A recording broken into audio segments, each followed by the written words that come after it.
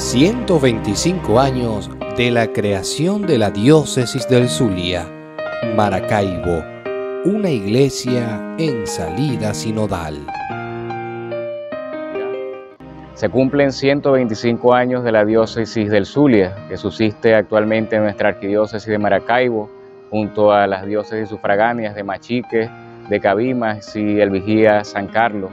Es un motivo de renovación en la fe de una iglesia que peregrina bajo el impulso del Espíritu Santo y con un regalo especial de nuestro Dios, como es tener la sagrada reliquia de nuestra Madre, Nuestra Señora de Rosario de Chiquinquirá, con más de 310 años de presencia aquí en el Zulia, renovando pues la fe, el amor de un pueblo que ama a Dios y que tiene una madre que le lleva siempre por los caminos de ese Señor que murió y resucitó por cada uno de nosotros. Esta peregrinación